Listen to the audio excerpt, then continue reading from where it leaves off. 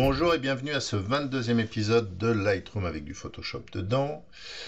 On va travailler sur euh, cette image euh, prise dans une arène euh, à Ronda, je crois, c'est la plus vieille arène de, d'Espagne. Je suis pas fan du tout de la tauromachie, mais faut pas mourir idiot. Donc je suis allé visiter une arène, j'en avais jamais visité, et à l'intérieur il y avait un pseudo musée où il montrait des beaux crânes de taureaux, les pauvres bêtes. Et je me suis dit, bah, tant qu'à faire, on va essayer de mettre ça un peu plus en valeur.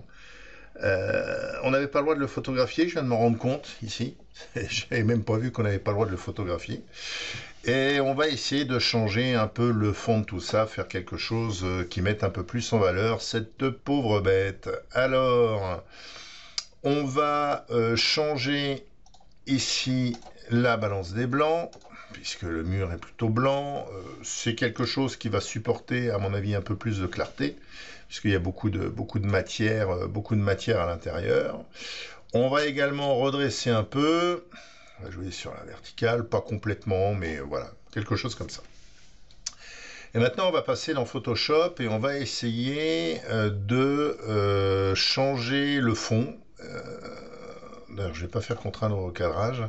On va essayer de changer le fond et on va également, ça sera à peu près comme ça, voilà, Là, ça sera bien. On va changer le fond. On va reproduire l'ombre euh, sur le nouveau fond et on va essayer de mettre ça un peu plus euh, en valeur. On voit qu'il y avait une lumière par-dessus. Là, d'ailleurs, on va baisser un peu euh, tout ce qui est haute lumière pour que ça soit un peu moins fort. Voilà, quelque chose comme ça. Terminé. Allez, on passe sur Photoshop. Donc, modifier dans Photoshop. La première chose qu'il va falloir faire dans Photoshop, c'est d'isoler le crâne. Donc on va prendre l'outil de sélection rapide. Celui-là, je vous l'ai déjà montré je ne sais pas combien de fois. On passe dessus pour sélectionner les zones. Si ça sélectionne trop, on fait Alt pour moins en sélectionner. Ça, vous devriez avoir maintenant l'habitude. On en a un peu là. Voilà, il en manque également là. On va zoomer pour voir si c'est propre. Là, il en manque. Là, là, on est bien. Là-haut, on est pas mal. Là, il en manque un tout petit, un tout petit machin. Voilà, quelque chose comme ça. Il en manque un peu là aussi. Très bien. Il en manque un pouille par là. Très bien, là, on est pas mal. Là, on est bien, on est bien. On descend au niveau du crâne. C'est bien. Voilà. Ici, comme ça. Bien au bord. Maintenant, on va réduire la taille ici de la brosse pour aller sélectionner les parties ici à l'intérieur. Et voilà, donc là j'ai fini ma sélection. J'ai mon crâne. Ce que je vais faire, alors vous voyez ici, on va faire un fond sombre, tandis que là on était blanc. Donc il va falloir rentrer un peu au niveau de la sélection. Donc on va faire améliorer le contour. On va lisser un peu. Euh, quand je fais l'outil de sélection rapide, j'utilise souvent un peu de lissage là. Et par contre, on va décaler le contour vers l'intérieur. Vous voyez Donc là, c'est vers l'extérieur. Et là, c'est vers l'intérieur. Donc on rentre un peu à l'intérieur de la sélection. On va se mettre 68. Ce sera pas mal. OK. Et là, je fais un calque par copier. Donc là, j'ai mon crâne qui est tout seul. Maintenant, je suis allé chercher avant une structure de tissu euh, sur Google, donc euh, tissu, euh, Photoshop, texture. Je vous ai déjà montré comment aller sélectionner des images comme ça. sélection, tout sélectionné, je la copie, je retourne dans mon image et je la colle. Alors évidemment, le maillage là est beaucoup trop gros par rapport à l'image. Donc je vais faire une ici, ici, je vais le réduire pour avoir ici un maillage qui, est, qui me semble pas mal. 1, 2, 3, 4, ouais, ça sera à peu près sur 4. Très bien. Alors, ce qu'on peut faire, on peut le mettre en dessous, comme ça on voit le crâne par-dessus. Donc, bah, ça, je vais simplement euh, dupliquer le calque, ok, et puis je vais, ah, pardon, je vais prendre ici le truc et vous le positionner pour que ça se voit pas, euh, voilà, et je duplique à nouveau, dupliquer. Voilà, là c'est pas mal, et je le duplique à nouveau. quelque chose comme ça. Maintenant, je vais prendre mes quatre calques tissus, je vais fusionner et je vais dupliquer la bande, dupliquer le calque. Ok, je vais simplement ici aller euh, bouger pour que ça se voit pas. Voilà, là c'est pas mal. Je vais à nouveau dupliquer cette partie-là, dupliquer le calque. Ok. Je vais le mettre par là et euh, je vais à nouveau dupliquer le calque. Dupliquer le calque. Ok. Et je vais le mettre par ici. Quelque chose comme ça. C'est très bien. Une fois que j'ai fait ça, je vais fusionner ici mes calques. J'aimerais un fond qui est plus sombre. Donc euh, image, réglage, luminosité, contraste par exemple, et je baisse la luminosité pour avoir un fond qui est plus sombre. On voit qu'ici d'ailleurs, il y a une petite bande, il faudra que je recadre. On se souvient qu'on avait quand même une lumière qui était par-dessus, donc ça je vais essayer de faire quand même une zone qui est un peu plus claire. Donc je vais prendre par exemple le filtre, Nick Collection, je vous ai déjà parlé des filtres Nick Collection, en plus ils sont gratuits, je vais prendre Viveza, et ici je vais faire une zone vers là, qui est un peu plus claire, quelque chose comme ça, voilà. Donc là je vais avoir une zone un peu plus claire à ce niveau-là, là où il y a la lumière hein, par-dessus. Voilà. Je vais aller bouger tout mon, calque d'ailleurs, euh, comme ça. Là, il est mieux. Je vais retourner dans Images, Réglages, Luminosité, Contraste. Je vais rebaisser un peu la luminosité. Voilà. Donc, on a bien ici une zone un peu plus claire et on a le reste qui est bien sombre. Et maintenant, il faut que je m'occupe de l'ombre. Donc, je vais resélectionner mon crâne ici.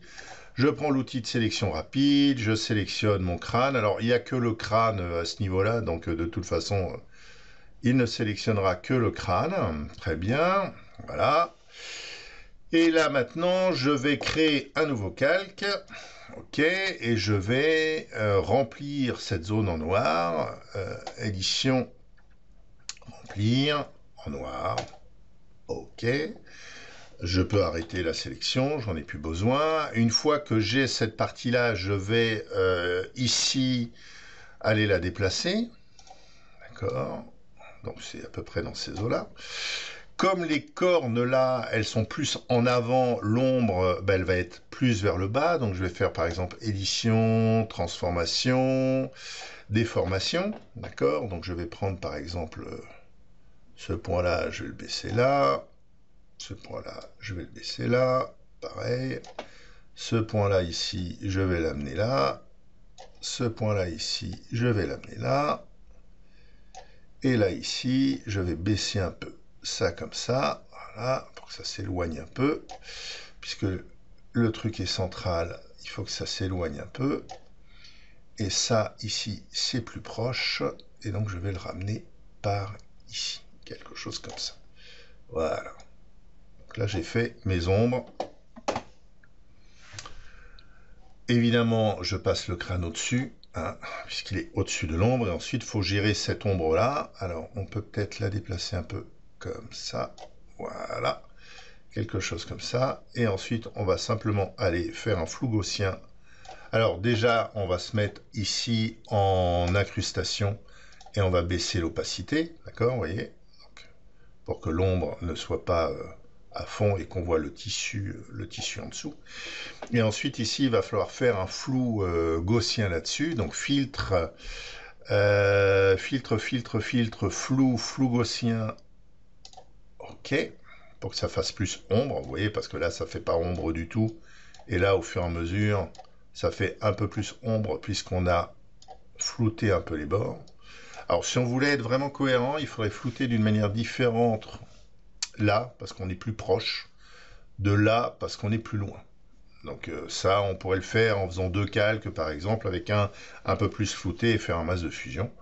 Mais là, pour l'instant, on va s'arrêter, euh, on va s'arrêter à ça. Et ensuite, euh, l'ombre étant plus loin de ce côté-là, il faudrait que l'ombre soit un peu moins marquée ici. Donc, il faudrait euh, arriver à faire un masque de, un masque de fusion. Alors, on va, on va tenter avec un masque de fusion ici. Et on va essayer de faire un dégradé. Alors, on va faire un dégradé euh, comme cela. Donc, on est dans le masque de fusion. On se fait un dégradé noir et blanc et on va essayer d'appliquer plus ou moins, d'accord? Donc, si on fait quelque chose comme ça, alors là, je suis en dégradé rond, je suppose, voilà. Je me mets en dégradé comme ça. Donc, si je fais comme ça, vous voyez, j'ai le haut, mais j'ai pas le bas. C'est un peu ce que je veux faire, à part que je vais pas partir de zéro. Je vais dire que là, je vais faire quelque chose où on va s'éloigner au fur et à mesure. Vous voyez? Là, j'ai plus d'ombre et là, j'ai moins d'ombre. Par contre, je n'ai plus la partie en bas qu'il faut que je garde, mais ça, je vais le traiter autrement. Alors, je peux régler à nouveau l'opacité là pour que ça apparaisse un peu plus. Voilà, quelque chose comme ça. Et ensuite, pour remettre la partie qui est là, ben, je vais simplement sur le masque de fusion. Je prends euh, simplement du blanc, ou du gris, pardon, le gris que j'avais là pour que ça soit euh, homogène. Donc je change, je prends ma brosse ici et euh, je vais la mettre plus grande. Voilà. Et sur la partie crâne ici qui m'intéresse, je passe plus. Vous voyez Quelque chose comme ça. Puisque là, cette ombre-là, elle est proche. C'est celle qui est là que je voulais qu'elle soit un peu plus loin. Et là. Voilà. Bon, bah écoutez, on va revenir, euh, on va revenir, on va revenir dans euh, Lightroom. Voilà, on est revenu dans Lightroom. Alors, on va euh, faire petite finalisation, un petit vignettage ici pour recentrer un peu sur le crâne. On va sûrement recadrer un peu. on pourrait le, redresser un peu comme ça et peut-être en virer un peu par là. Voilà, et le recentrer comme ça, terminé. Et on peut éventuellement euh, voir en rajoutant encore un pouille de clarté pour que ça ressorte un peu plus. Voilà, quelque chose comme ça. Et j'aurais tendance à dire que ben, euh, j'ai essayé de mettre cette pauvre bête en valeur par rapport à l'image initiale. Alors on va essayer de retrouver l'image initiale qui doit être là. Donc ça, c'est ce que j'ai fait, et l'image initiale, je vous rappelle, je vais la réinitialiser. Donc l'image initiale, c'était ça, et euh, le dernier essai que j'ai fait, c'est donc celui-là. Voilà, j'espère que ça vous a plu. Au revoir.